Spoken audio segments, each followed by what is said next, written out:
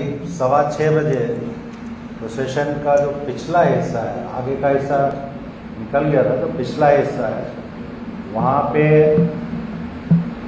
उस प्रोसेशन में जो लोग शामिल थे और वहाँ जो लोग खड़े हुए थे लोकेलिटी में, उनके बीच में आपस में तकरार हुई और उसके बाद फिर स्टोन पेल्टिंग और दूसरे इंसिडेंट्स हुए। पुलिस का बंदोबस्त प्रोसेशन के साथ था। और उस समय जो हमारे अधिकारी थे, सब इंस्पेक्टर और उनके साथ जो टीम थी, उन्होंने दोनों साइड को अलग करके बीच में पुलिस थी और इन लोगों को कंट्रोल करने की कोशिश की। और उसी सिलसिले में इंजरीज भी हुई। पूरे इंसिडेंट में नौ लोगों को इंजरीज हुई हैं। जिसमें आठ पुलिस कर्मी हैं, पुलिस अधिकारी है, एक सिविलियन है।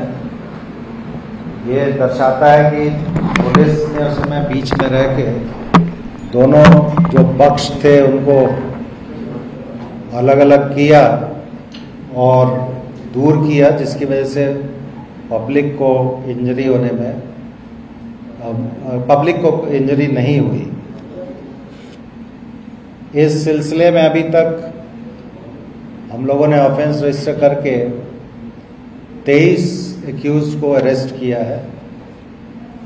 इन 23 में से आठ एक्यूज ऐसे हैं जिनके प्रीवियस इन्वॉल्वमेंट है। सीसीटीवी फुटेज और दूसरा जो डिजिटल एविडेंस अवेलेबल है, उसके एनालिसिस चल रही है। उसके आधार पे अभी कुछ और लोगों को आइडेंटिफाई किया गया है। जिनकी धरपकड़ की जाएगी और कस्टोडियल इंटरोगेशन किया जाएगा। तीन फायर आर्म सीज किए हैं और पाँच सोर्ड्स सीज की गई हैं। ये केस क्राइम ब्रांच को इन्वेस्टिगेशन के लिए सौंप दिया गया है। उसी सिलसिले में आज चार फॉरेंसिक टीम्स एफएसएल से सीन ऑफ़ क्राइम का विज़िट किया है और सैंपल्स वगैरह कलेक्ट किए गए हैं।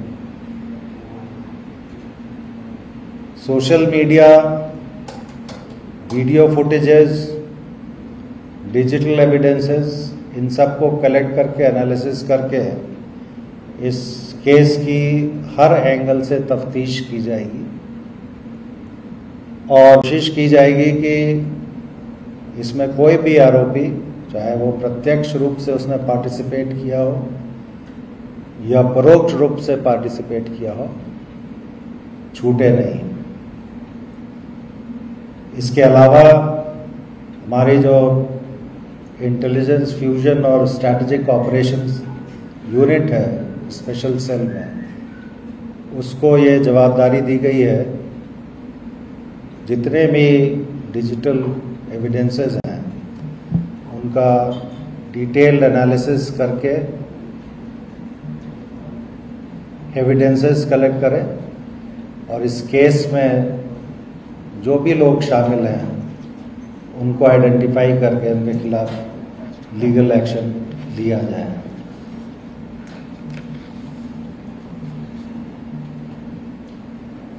इसमें मैं इस फोरम से आपको बताना चाहूँगा कि इन्वेस्टिगेशन काफ़ी डिटेल्ड होगा थरो होगा। और चूँकि क्राइम ब्रांच को इन्वेस्टिगेशन की जवाबदारी दी गई है, उन्होंने करीब चौदह टीम्स बनाई हैं जो हर एंगल से इस केस का इन्वेस्टिगेशन करेंगे। टीम्स कल से ही कार्यरत हैं और जैसे जैसे रिजल्ट्स आएँगे, हम प्रेस को ब्रीफ करेंगे। मैं एक चीज़ और कहना चाहूँगा। सोशल मीडिया के माध्यम से कुछ लोग प्रयास कर रहे हैं कि वातावरण सुधरे नहीं। सोशल मीडिया एनालिसिस हमारे यहाँ हो रहा है और अगर ज़रूरत पड़ेगी तो जो लोग गलत इन्फॉर्मेशन मिस इन्फॉर्मेशन या रॉन्ग इन्फॉर्मेशन फ़ीड कर रहे हैं, जिसकी वजह से वातावरण सुधरता नहीं है या बिगड़ता है तो उनके खिलाफ भी उचित कानूनी कार्रवाई की जाएगी। मेरी जनता से अपील है कि अफवाहों के ऊपर ध्यान नहीं दें। अगर कोई फैक्ट्स या वेरीफाई करना है कंट्रोल रूम को आप संपर्क कर सकते हैं। या हमारे सीनियर अधिकारी को संपर्क कर सकते हैं, जिनको ये सूचना है कि आपको सही जानकारी उपलब्ध कराएँ।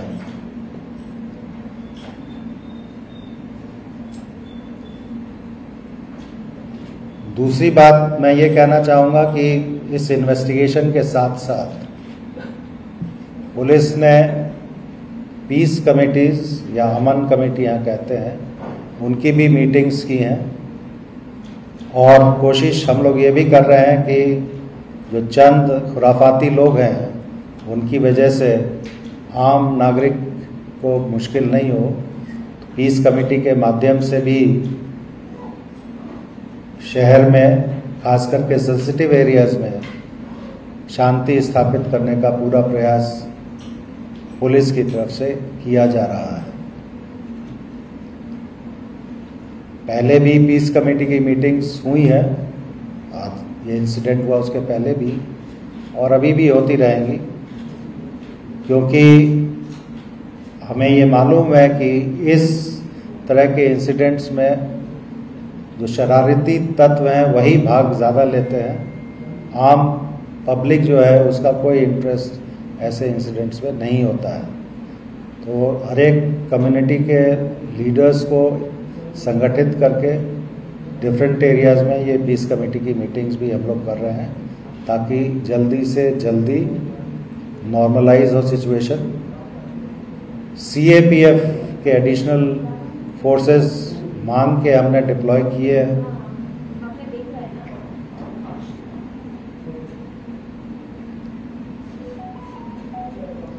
जहांगीरपुरी के अलावा भी शहर के जो दूसरे संवेदनशील विस्तार हैं, वहाँ पे सीएपीएफ का डिप्लॉयमेंट किया गया है।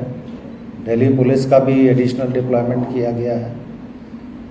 और जो अधिकारी हैं सीनियर अधिकारी, उनको ये निर्देश है कि जब तक स्थिति सामान्य नहीं हो जाती है, वो फ़ील्ड में रहें और कोई भी इंसिडेंट होता है तो उसको इमिडिएटली और अप्रोप्रिएटली उसको हैंडल करें। थैंक यू एक मिनट। एक मिनट। अगर आपको सवाल पूछना है तो एक एक करके पूछे मैं हर एक एक साथ बोलेंगे तो मेरी समझ में नहीं आप आपस में ही तय कर लें कौन सवाल पूछेगा।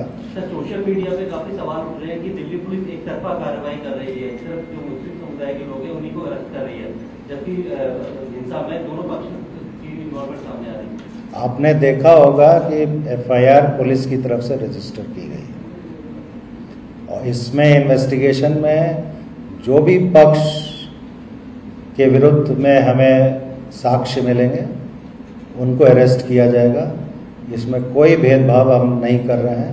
अभी भी जो तेईस व्यक्ति अरेस्ट किए गए हैं उसमें दोनों पक्ष के लोग शामिल हैं। सर सवाल ये है कि एक सर कुछ ये भी आरोप लग रहे हैं कि या कहा जा रहा है कि इसकी प्लानिंग काफ़ी पहले से की गई थी। क्या जाँच में ऐसी बातें सामने आ रही हैं कि पहले से इसकी प्लानिंग की गई थी? मैंने आपको बताया कि केस का इन्वेस्टिगेशन काफ़ी थरोली किया जाएगा। जो भी प्रत्यक्ष या परोक्ष रूप से इसमें शामिल हैं उनके विरुद्ध कार्रवाई की जाएगी। सर सर सर इसमें जो आयोजक हैं उनके खिलाफ कोई कार्रवाई की बात हो रही है क्या? क्योंकि ऐसी बातें आ रही है कि कुछ लोग मस्जिद में जिन्होंने घुसने की कोशिश की उसके बाद ये पूरा मामला बिगड़ा अभी ये इन्वेस्टिगेशन का विषय है मैं बहुत क्लियरली आपको बोल रहा हूँ इन्वेस्टिगेशन में जिसके खिलाफ एविडेंस मिलेगा उसके खिलाफ कार्रवाई की जाएगी irrespective of class creed community religion Sir, sir, one point. Uh, was this designated route for the, the yatra to go? Because what people were saying that the yatra took two, three rounds and that certainly provoked. The second point, there have been the pictures on social media which is showing the relation of the prime accused with one of the political party. What has been the crime accused Uh, संसार का जब कोई political background एक minute Ansar, who is said to be the prime accused who instigated the crowd, uh, his pictures are viral which shows his affiliation with one political party. So So, have, uh, has an investigation suggested so far, and was it a designated route? And why these people were allowed to go on the route twice? The designated route, which is a traditional route to say, was EE block, Jahangirpuri, A1 Motors Mangal Bazar Road, Mahinder Park via BJRM Hospital Road, K block, BC Market, Kaushal Chowk, G block, Mangal Bazar Road, Mahindra Park. Prior to this procession, two processions who had been given the permission had completed the uh, procession peacefully. Just a second, let me complete it. Your second question was about the allegiance of a particular accused with a particular political party. We go by the evidence. We will take appropriate and effective legal action against anyone who is found involved in the incident. And our investigation is subject to the scrutiny of the court. So there is no discrimination. Sir, do you Just see any pattern among the Sir, forensic? Was there any anticipation of this kind of uh, action? Because uh, intelligence branch, like your intelligence branch, had also given some verbal communication about this kind of. uh, Now this, look, listen, this Ramnami, the processions took place. Hanuman Jayanti processions are being taken out. In different parts of the country, everybody knows some part it is peaceful, some part there were some problems. So definitely we were also careful and we were prepared to handle the situation. And as you have seen, the situation was brought under control within an hour's time and we have taken effective action against the culprits. Sir sir sir forensic की team इतनी देर से क्यों पहुंची ये सवाल उठ रहा है दो दिन बाद पहुँची तो है ना? उसकी बात करो। सर सर सर एक सवाल ये है कि फॉरेंसिक एग्जामिनेशन करने के लिए टीम एक जामा मस्जिद में पहुँची। और ऐसा भी कहा जा रहा था फ़र्स्ट डे से कि जामा मस्जिद के में झंडा लगाने को लेकर ये विवाद शुरू हुआ था। तो क्या ऐसा ये बात में तथ्य नहीं है झंडे की बात नहीं है। झगड़ा छोटी सी बात पे ऑल्टरकेशन शुरू हुआ था। वो फिर इसने ये स्वरूप ले लिया। जो लोग ये कह रहे हैं कि झंडा लगाने की कोशिश की थी तो ऐसी बात में तथ्य नहीं है। एक मिनट एक minute. Let me complete let me completely answer है सेकेंड पॉइंट आपका जो एफएसएल की टीम को लेकर था। एफएसएल की टीम वहाँ पे सीन ऑफ़ क्राइम जितना भी है सारे सीन ऑफ़ क्राइम को एग्जामिन करेगी because firing has taken place private firing has taken place sir जो पुलिसकर्मी थे, हमने उनके इंटरव्यू करे कल जो घायल पुलिसकर्मी थे, उन्होंने कहा कि लोगों, घरों से बहुत ज़्यादा पत्थर चल रहे थे और शराब की बोतलें। सर, आपको लग रहा है मतलब कि जो इंटेलिजेंस यूनिट है आपकी कि सर ये पहले से था, क्योंकि दो शोर यात्रा निकली थी, उनको कोई टच नहीं किया गया। इसी में सर ये पूरा देखिए, ये चीज़ें इन्वेस्टिगेशन का विषय है। आपने हमारे सब इंस्पेक्टर से बात की थी, मैंने भी बात की है। जो इन्वेस्टिगेशन में तथ्य आएँगे उसके बाद ही हम आपको बता पाएँगे। आदेश ने सर कल पुलिस स्टेशन पे आके बोला कि सर जो अंसार है वो आम आदमी पार्टी का पदाधिकारी है। तो इस पे सर कुछ इस पे मैं कोई कमेंट नहीं करूँगा। हमारे लिए जो ऑफेंडर होता है वो ऑफेंडर होता है। हम एविडेंस पे जाते हैं एसोसिएशन पर नहीं जाते।